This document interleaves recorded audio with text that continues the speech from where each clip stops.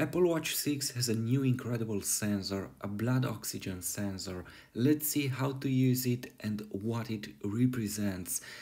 First of all, you have to open the application on your Apple Watch.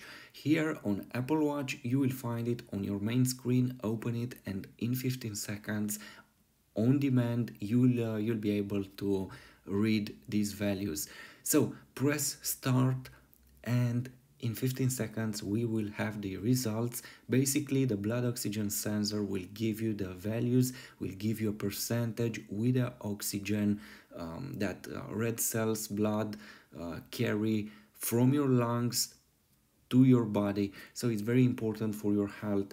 Uh, a normal people a healthy or healthy people should have values between 95 percentage and 99 so between 95 and 99 it's very important. When you do this uh, measure don't move your arm like this because you'll receive an error like you see here.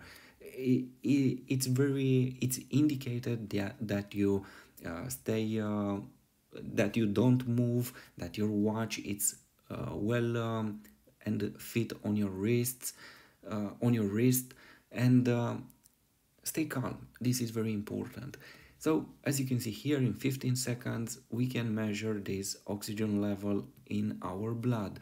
It's very important as i said basically it's the oxygen that it's moved uh, in your entire body for uh, from um, your lungs uh, with the with the help of uh, red cells blood.